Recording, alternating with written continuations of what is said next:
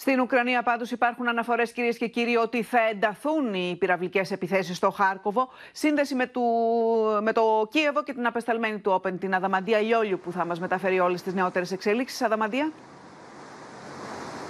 Την ώρα, Λίνα, που οι βασικές προσπάθειες της Ρωσίας είναι η πόλη Μπαχμούτη στον Ντονιάτσκ προκειμένου να την καταλάβουν για να συνεχίσουν ε, έτσι ώστε να έχουν υπό τον πλήρη έλεγχό τους οι Ρώσοι την περιοχή του Ντομπάς. Σύμφωνα με τους Ουκρανούς εκεί πραγματοποιούν περιορισμένες επιτυχίες.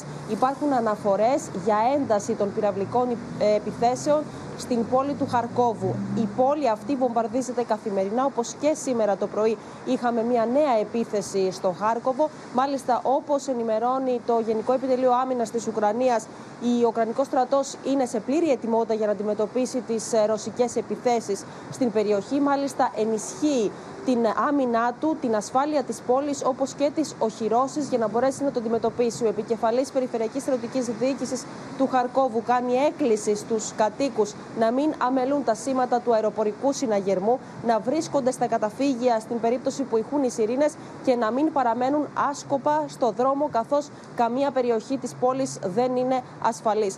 Μάλιστα, την ίδια ώρα το Γενικό Επιτελείο Στρατού της Ουκρανίας έχει δώσει κάποια στοιχεία για τις απώλειες των Ρώσων έχει μιλήσει για 180 Ρώσους στρατιώτες νεκρούς μέσα σε μία ημέρα, όπως και για αναχέτηση 6 πυράβλων κρούζ. Ο κύριος Κουλέμπα, τώρα Υπουργός Εξωτερικών της Ουκρανίας, σε δηλώσεις του ανέφερε πως σιγά σιγά η Δύση αρχίζει να πιστεύει στη νίκη της Ουκρανίας και στην ήττα της Ρωσίας. Όπως λέει, μπορεί να χρειάζεται ιδιαίτερα μεγάλο χρονικό διάστημα για να γίνει κάτι τέτοιο, καθώς υπάρχουν παγιωμένες αντιλήψεις στην Δύση που θεωρούν τη Ρωσία ως μια ισχυρή χώρα που διαθέτει στρατό, πυρηνικά όπλα και πολιτιστική κληρονομιά. Ωστόσο, ο συγκεκριμένος πόλεμος έδειξε την βαρβαρότητα της Ρωσίας με σκοπό να καταστρέψει τον Ουκρανικό λαό. Και τέλος, Ελίνα, να πούμε και μια πληροφορία από το Βρετανικό ναι. Υπουργείο Άμυνας που αναφέρει πως είχαμε επίθεση από τον Ουκρανικό στρατό σε στρατιωτικό ρωσικό κλιμάκιο με αποτέλεσμα να υπάρχει καταστροφή στη σιδηροδρομική διάβαση προς την Κρυμαία.